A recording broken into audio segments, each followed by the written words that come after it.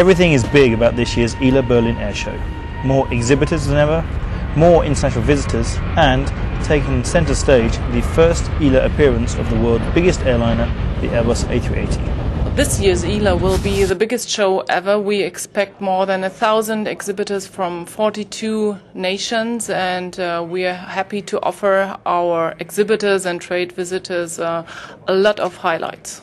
Germany may have the oldest airshow in Europe, but ILA has failed to attract the same reputation amongst exhibitors as Paris and Farnborough.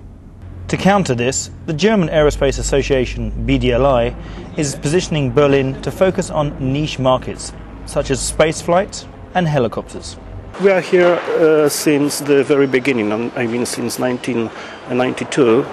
I think ILA is a very good opportunity to, uh, to demonstrate, to, to sell our products, uh, which are the helicopters. We've got some uh, good uh, connections with the German market, uh, and that's why we are here.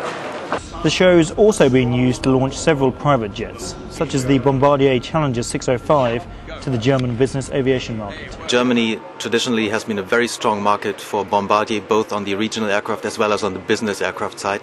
Especially the Challenger has been uh, the best selling aircraft in its class on the German market, both for corporate aviation as well as for charter um, companies. And also the German government is uh, one of our fleet customers for the Challenger 600 series, and we very much look forward to welcoming our customers here at Berlin. Russia is strongly represented as usual. But following industry consolidation, the lure of next generation versions of products such as the Tupolev 204 could find customers stop browsing and start buying. ILA is playing to its strengths and its home market.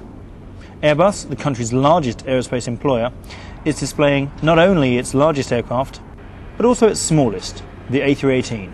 Embraer and Northrop Grumman are two more of the thousand or so other companies exhibiting at the show. Yet there are gaps.